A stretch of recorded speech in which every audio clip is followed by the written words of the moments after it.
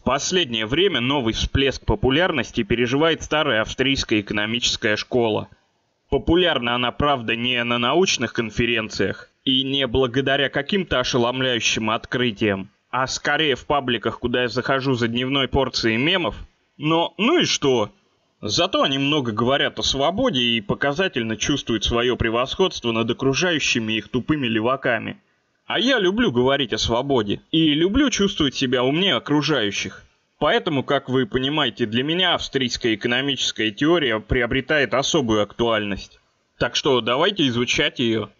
Первое, что притягивает к себе взгляд в австрийской экономической школе, далее АЭШ, это их количество и их комплексы насчет количества. То есть самих австрийских экономистов очень мало – но поклонники АЭШ делают все, чтобы казалось, что этих экономистов очень много. Для этого они записывают в генеалогическое древо АЭШ всех, кто сказал хоть слово доброе об их теории. Не только экономистов, но и историков, художников, блогеров, юмористов, людей, о которых вообще никто ничего не знает. Есть даже один утопист-романист, который неожиданно для себя стал половиной первого поколения. К сожалению, рассмотреть все замечательные идеи этих людей не представляется возможным. К тому же большинство из них просто описывало творчество Хайка реже Мизиса.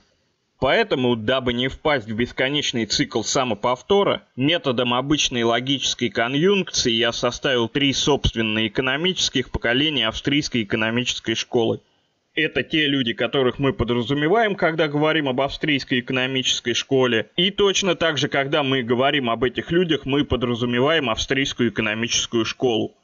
Первое поколение, с вашего позволения, я затрагивать не буду совсем. Потому что, с одной стороны, они имеют слишком много общего с неоклассической экономической теорией, и о предельных величинах, о развитии закона Сэй я и так много говорил в предыдущем ролике. А с другой стороны, их, собственно, австрийские черты лучше развиты представителями следующего поколения. Например, идею изменения длины периода производства Бембаверка необходимо рассматривать в контексте эффекта Рикарда Хайека – а третье поколение я не буду рассматривать сегодня. Как по мне, это отдельная традиция, тоже во многом противоречивая, но дело в том, что основатели австрийской экономической школы себя к антиэтатистам не относили. Поэтому сегодня предлагаю сосредоточиться на так называемом «золотом поколении». И да, я знаю, что первый из него не считал второго чистым австрийцем. И даже однажды на съезде общества ультрарыночников Монпелерин Мизис обозвал Хайка социалистом, разрыдался и выбежал, хлопнув дверью, что немало говорит нам о психологическом состоянии важнейшего из австрийцев. Но придираться к таким мелочам я все-таки не буду. Далее, второе, чем прямо-таки гипнотизирует эта замечательная школа, это их априорный метод – как элегантно подчеркивал Мизис, если реальность противоречит австрийским теориям, то это еще не повод пересматривать австрийские теории. Проблема вполне себе может быть в реальности. Кейнсианский экономист Николас Калдер первым прочувствовал, что австриец он как свидетель Иеговы. Его нельзя переспорить фактами или статистикой, когда доказывал некорректность австрийской теории экономических циклов. А Хайек в ответ просто априорно отмахнулся. Вот. Теперь можно и по самой школе пройтись. Австрийская теория вытекает из того же маржинализма, что и неоклассическая, и во многом на нее похожа. Разница в том, что австрийцы не рассматривают капитализм как систему в состоянии равновесия. По их словам, они изучают не фантомное идеальное конечное состояние, а рыночные процессы. По их мнению, предпринимательская деятельность двигает рынки к равновесию. И это уже само по себе довольно сомнительно. Регулирующие действия компаний, запускающие колебания предложения и спроса, могут стабилизировать один рынок, но дестабилизировать связанные с ним другие рынки. Говорить о том, что вся предпринимательская деятельность во всей ее совокупности будет только стабилизировать рынки, даже внутренне нелогично. Руководствуясь этой теорией, невозможно показать, как субъективные индивидуальные предпочтения влияют на рыночные механизмы. Кроме того, учитывая, что рассматриваемые процессы находятся в динамике, и она должна приводить к расходимости, а не сходимости поведения, не получится закрепить предположительно стабилизирующий характер предпринимательской деятельности. И дальше только хуже. Хотя австрийцы постоянно утверждают, что равновесия не существует, и троллят этим неоклассиков, Но при этом их же теория требует равновесия для двух рынков, иначе она просто не работает. Эти два рынка – рынок труда и кредитный рынок. Мы начнем с последнего, потому что он завязан на австрийской теории экономических циклов. Воспользуемся информацией, любезно предоставленной нам одним из экономистов-историков А.Эш Дунканом Рики. Он пишет, что экономический цикл порождает эмиссия или изъятие денежной массы – Выпуск новых денег работает как увеличение предложения сбережений. Процентная ставка падает и обманывает этим бизнесменов. Они заимствуют дополнительные средства и начинают финансировать новые проекты. Если бы это происходило в результате естественного накопления капитала, то все было бы нормально, но изменения порождаются правительством. Дальше уже люди получают эти новые деньги через зарплату, арендную плату или процент. И затем тратят их в привычных им пропорциях на потребление и инвестиции. Соответственно, отрасли промышленности растут по ошибке из-за неправильных инвестиций. Экономисты австрийской школы считают, что процентная ставка отражает временные предпочтения между товарами настоящего и будущего – Правительство и центральные банки якобы управляют денежной массой или процентными ставками, в результате чего фактическая процентная ставка начинает отличаться от естественной процентной ставки. Естественная процентная ставка – это та, которая уравновешивает сбережения и кредиты. Если же мы предположим, что на кредитном рынке невозможно равновесие, как на других рынках, и что нарушение равновесия для него такая же тенденция, как и для всех остальных, то вероятность неправильных инвестиций чрезвычайно возрастет. Банки из-за неверных прогнозов будут увеличивать кредит просто потому, что это приносит им большую прибыль. Но это как бы не единственная и даже не главная ошибка австрийской теории экономических циклов. Таких ошибок четыре. Во-первых, государство не принуждает банки выдавать чрезмерные кредиты, а скорее позволяет банкирам удовлетворять спрос на кредит. А банкиры, в свою очередь, радостно пользуются этой возможностью, потому что они не просто пассивно управляют деньгами, а имеют прибыль с кредитов и хотят ее увеличить. Именно поэтому кредитные деньги – это неотъемлемая часть капиталистической системы, и они будут существовать даже без центральных банков. Банки сами по себе заинтересованы выдавать в кредит больше средств, чем у них есть, потому что в конечном итоге это больше прибыли. Да, блин, сами австрийцы в конце концов мечтают влезть в экономику и навязать банкам полное резервирование и некий стандарт. Например, голубой мечтой Хайка была валюта с неким товарным стандартом, пока Калдер ему любезно не объяснил, что расхождение ставок это не особенность денежной экономики, и что даже в товарной экономике было бы ставок по числу товаров. Поэтому большинство австрийцев обычно сходятся на золотом стандарте.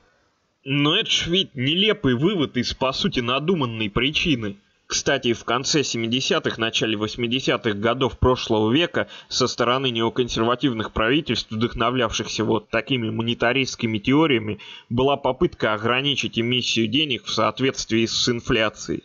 Я вынужден отметить, что ответственность за эту политику несут не австрийцы, потому что, ну, Мизис уже умер, а Хайк превратился в живой труп, а что думают остальные австрийцы вообще никого никогда не волновало.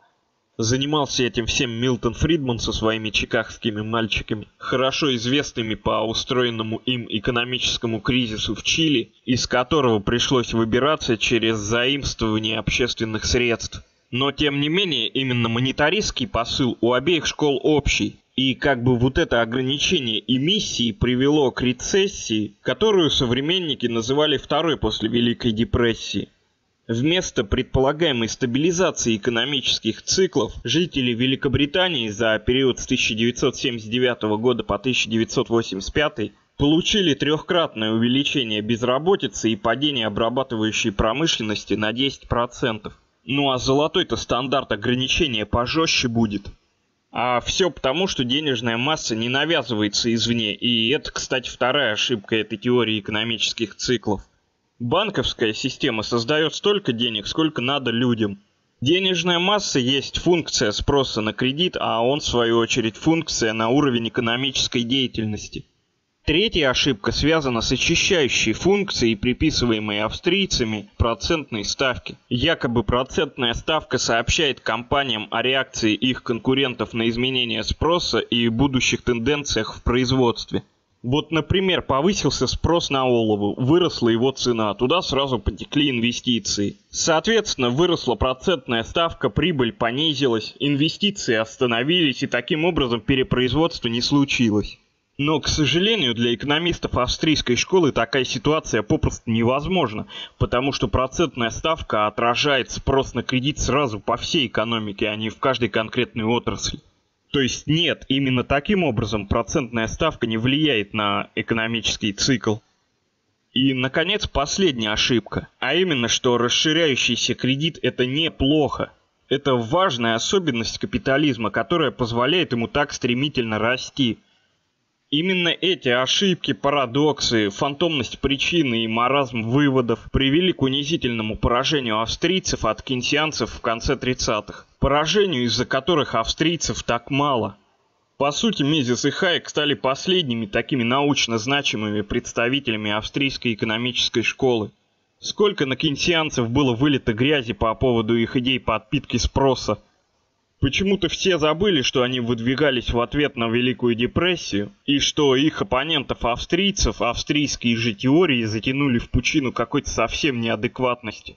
С точки зрения АЭШ, самое разумное поведение в момент кризиса – это ничего не делать и сохранять свои деньги. И ждать эффекта Рикардо, то есть поворотной точки между подъемом и спадом. Потому что, ну а чего вы хотите, денежная масса искусственно раздута. Когда Хайек впервые представлял эту свою теорию в аудиторию под гробовую тишину, в конце концов один из экономистов не выдержал и задал ему очевидный вопрос. Вы что, действительно считаете, что если я сейчас пойду и куплю себе пальто, то это увеличит безработицу? Говорят, что в ответ Хайек покраснел как рак, спрятался в углу и стал чертить какие-то странные математические схемы. Да еще и Николас Калдер в своей статье «Профессор Хайек и эффект гармошки» статистически доказал, что этот самый эффект гармошки возможен только при совсем уж специфических и изначально заданных условиях равновесия, но не в реальной экономике. Больше всего из прочитанного на эту тему мне понравилась статья отечественного экономиста Капелюшникова, написанную в форме введения к сборнику работ Хайека – в ней он, потратив определенное место на объяснение того, что такое эффект Рикардо и как он важен для австрийской теории экономических циклов, завершает совершенно гениально. Мол, эффект Рикардо давно вышел за пределы экономических циклов, и в этом гениальность Хайека. То есть сразу гениальность непонятна, да? И еще раз. Точка поворота, ключевой момент всей теории, заставляющий цикл работать, по итогу никак не связан с теорией экономических циклов и в этом гениальность ее создателя. Вот уж действительно многоходовочка из многоходовочек. И я боюсь, что до сих пор это единственный доступный сторонникам АЭШ уровень ведения дискуссий. Ну да ладно, возвращаясь к АЭШ, чем она занималась, рекомендую ничего не делать ну, как бы вы не слушали нас и заслужили все случившиеся с вами беды. Вот такой был их основной посыл. В то время как их кенсианцы закрывали как научную традицию. Почему австрийцы все настолько не сходится и в чем истинная причина экономических циклов? Капиталистическое производство двигает жажда наживы, ну или точнее получение прибавочной стоимости, с прибыли процента, ну или арендной платы – если капиталист не может получить достаточно прибавочной стоимости, то он стопит производство и увольняет людей, а они, в свою очередь, сокращают потребление. Есть два типа факторов, влияющих на получение прибавочной стоимости. Первый субъективный – это общественные отношения господства и подчинения, создаваемые капитализмом. Они являются причиной эксплуатации и в конечном итоге классовой борьбы. Объективные факторы – это второй тип – они связаны с тем, как капитализм работает. Например, рынок не предоставляет достаточной информации производителям, чтобы они смогли избегать диспропорций. Другой пример – это чрезмерное капиталовложение и сверхнакопление. Или, говоря словами Прудона, производство при капитализме имеет тенденцию опережать потребление. На капиталистов постоянно воздействуют внутренние факторы, то есть классовая борьба, профсоюзное движение, и внешние, то есть конкуренция. Из-за этого они вынуждены вкладывать капитал в развитие средств производства. То есть во время экономического бума безработица падает. Соответственно, рабочие в своих профсоюзах получают больше возможностей бороться за увеличение заработных плат, а это понижает прибавочную стоимость. Соответственно, капиталисты вкладываются в новшества, чтобы противостоять этой новообретенной силе. Точно так же они поступают ради получения преимуществ над конкурентами. Это приводит к увеличению прибыли, получаемой отдельными компаниями в краткосрочной перспективе, но к падению прибыли в долгосрочной перспективе. Дело в том, что ценовой механизм сообщает компаниям информацию об изменении цен только в настоящем. Планы же на будущее они строят отдельно друг от друга.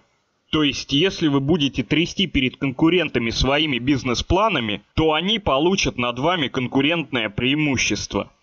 То есть сама рыночная система поощряет подавление информации и делает невозможным коллективную координацию планов с последующей их коррекцией относительно друг друга. Поэтому цены, они как бы не про долгосрочное равновесие, Процентная ставка сообщает недостаточно информации, в результате чего инвестиции концентрируются в определенных секторах экономики.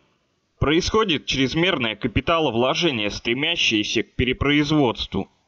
Новые компании, отечественные и иностранные, тоже хотят получить свою часть прибыли на растущем рынке. Конкуренция растет, а средняя прибыль уменьшается. Появляются тенденции к поглощению и слиянию. Рынок захватывает большой бизнес. Безработица падает, дисциплина, которая при капитализме напрямую от нее зависит, хромает. Зарплата в результате профсоюзной деятельности растет, и это тоже приводит к сокращению прибыли.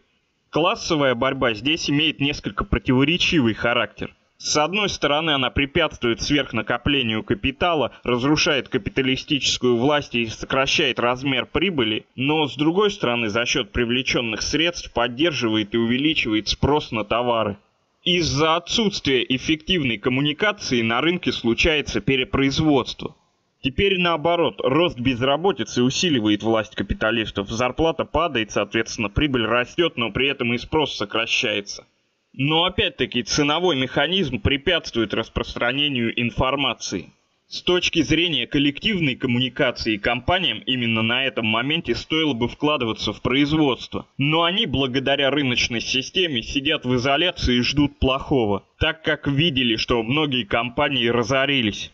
То есть рыночная система сама по себе искусственно затягивает спад – Наблюдая это явление, многие марксисты радостно потирали руки, мол, вот оно. Буржуа становятся своими могильщиками. А значит, надо брать власть в свои руки и загонять людей в гулаги, пока капитализм окончательно не рухнет. Однако у капитализма очень высокий запас прочности. Рано или поздно уменьшение конкуренции и увеличение безработицы приводит к новым инвестициям, потому что норма прибыли растет. И это порождает новый бум.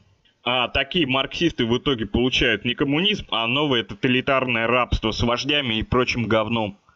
Потому что капитализм сам по себе не рухнет, его можно разрушить только изначально сознательной социальной революцией, которая разрушит все капиталистические отношения типа власти и наемного труда, а не прикроет их благообразием щербатого вождя. То есть причина капиталистических экономических циклов в том, что общество не производит на себя – если бы рабочие производили на себя, кризисов бы не было. Экономика одного бума попросту невозможна, потому что даже при полной занятости, если рост зарплат опережает рост производительности, то сокращается прибыль и получается кризис, пример 60-е и 70-е года прошлого века. Если же наоборот рост производительности опережает рост зарплат, то становится труднее реализовывать произведенные продукты и опять-таки получается кризис. Пример 20-30-е годы прошлого века. И это хороший момент, чтобы закончить, наконец, с теориями экономических циклов и перейти ко второму рынку, который австрийцы наделяют свойствами равновесия. И это рынок труда. Согласно гипотезам АЭШ, при свободно-рыночном капитализме рынок труда будет отличаться полной занятостью. Здесь, конечно, немало политики. Современные сторонники АЭШ-либертарианцы, в силу возраста только недавно открывшие для себя цинизм, любят смеяться над нищетой и неопределенностью. Но классики АЭШ все-таки заботились о своей репутации. Трудно было бы доказать, что больший уровень безработицы при свободно-рыночном капитализме, а также порождаемый ею страх и неуверенность в завтрашнем дне, будет полезен для наемных рабочих. У австрийцев тоже понимание безработицы, что и у неоклассической экономической теории. Во-первых, она добровольна, а во-вторых, результат слишком высокой цены труда – вот уж действительно, кто бы мог подумать, что депрессия выгодна рабочим. Ведь одни из них получают более высокий доход, а другие досуг. Разумеется, действительность радикально отличается от подобной абстрактной модели. Анархисты давно доказали, что в основе капиталистического рынка труда лежат неравенство и власть. Прудон в своей книге «Что такое собственность» отмечал – Предприниматель говорит рабочему, вы вольны предложить свои услуги кому-нибудь другому, так же, как я волен принять их. Я предлагаю вам столько-то. Торговец говорит своему клиенту, вы можете брать или не брать, ваши деньги мой товар, я требую столько-то. Кто же уступит в этом случае? Более слабый, конечно. На реальном рынке труда ситуация следующая. Из-за насилия в прошлом, например, захвата земли при помощи государства, контроля государства капиталистами и тенденции капитала к концентрации, меньшинство людей владеет средствами жизнеобеспечения, а большинство людей вынуждены продавать свою рабочую силу, чтобы получить доступ к ним. И вот это насилие, это ведь не просто данность, капиталисты извлекли из него немало выгоды. В результате получается добровольность сродни добровольности акта ограбления – Грабитель ограничил выбор жертвы двумя вариантами – потерять жизнь или деньги. Разве это добровольный выбор между имеющимися возможностями? Точно так же, когда навязанная насилием система прав собственности ограничивает выбор трудящихся во имя привилегий капитала между продажей труда и безработицей, это не является свободой, как и в случае с грабителем. И я сейчас не буду говорить о самозанятых гражданах, потому что ну, это крошечный сектор экономики – Свобода выбора это не то, что может быть выбрано чисто потенциально, а то, что будет выбрано на самом деле. А само существование рынка труда зависит от отделения трудящихся от средств производства. Наемный труд – это главная особенность капитализма. Даже в развитых странах типа США число самозанятых граждан не превышает 15%. То есть для подавляющего большинства населения при капитализме наемный труд – это реальность. Очевидно, что никто не может принудить вас силой работать на себя. Но грош цена такой добровольности, ведь вы должны работать на кого-то. Если вы, конечно, не верите в нелепые сказки о том, что меньшинство упорно и трудолюбиво, а нанятое ими большинство лениво и тупо. Веками капиталисты вместе с государством создавали порог для входа на рынок, и с другой стороны рынок покупателей труда. В конце концов, как саркастично подмечал Карл Палани, Мизис справедливо утверждал, что если бы рабочие не вели себя как члены профсоюза, а умерив свои претензии, меняли свое место жительства и род занятий в соответствии с требованиями рынка труда, то в конце концов им удавалось бы находить себе работу. В этих словах резюмировано положение вещей при той экономической системе, которая основана на постулате товарного характера труда.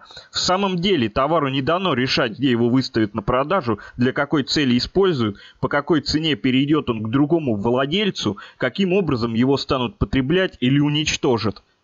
Мне от себя захотелось добавить вопрос к Мизису. Вот в конце концов это как долго? Ведь суть системы наемного труда в том, что наемный рабочий не может ждать. За это время он может просто умереть с голоду. Существование безработицы добавляет преимуществ сильнейшей стороне, участвующей в обмене. Оно дисциплинирует труд, заставляет рабочих соглашаться на худшие условия и не бороться за лучшие.